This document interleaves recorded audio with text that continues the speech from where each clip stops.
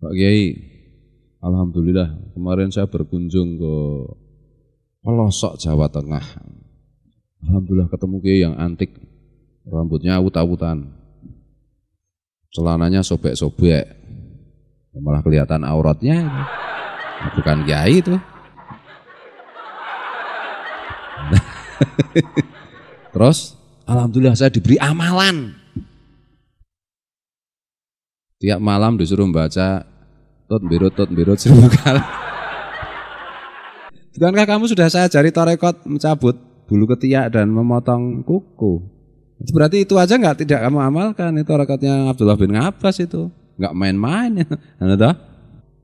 Nah ini satu satu torekot yang boleh diamalkan. Ini di buku pesolatan belum diungkapkan. Kalau kita mau usolli, usolli fardhu jumu'ati rakaat ini mustaqbilal kiblati. Sebelumnya bacalah salawat dulu. Adalah Allahumma sholli wa sallim wa barik ala sayyidina Muhammad wa ala alihi wa sahbihi wa ikhwanihi minal anbiya wal mursalin dan seterusnya atau sallallahu ala Muhammad wa sallim cukup baru usolli. Itulah. Dengan baca salat kita ingat bahwa kita salat itu menjalankan uh, perintah Allah sesuai dengan caranya itu mengingat hadis mengenai sallu kama ra'aitumu usolli. Ya ini dah. Salatlah kalian sebagaimana kalian melihat diriku Rasulullah uh, salat. Nanti kita dituntun oleh Allah untuk salat kita itu ya ada miripnya lah dengan salatnya Rasul itu loh. Bukan dengan salatnya Abu Jahal. Ini dah.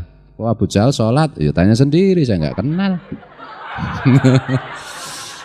Nah.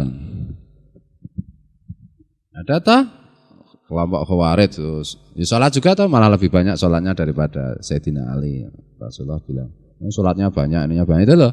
Nah, untuk bilang di ya itu sholatnya dijelaskan. Jangan sampai sholat kita kayak orang-orang seperti itu. Sholat kita ya seperti sholatnya Rasulullah, para sahabat, eh, salafus solihin, ulama-ulama yang menjadi kekasih Allah, ya guru-guru kita. Ya saya sholawat belum. Baru a'udzubillahi minasyaitonir rajim. Masih ada waktu terus usolli. Ya.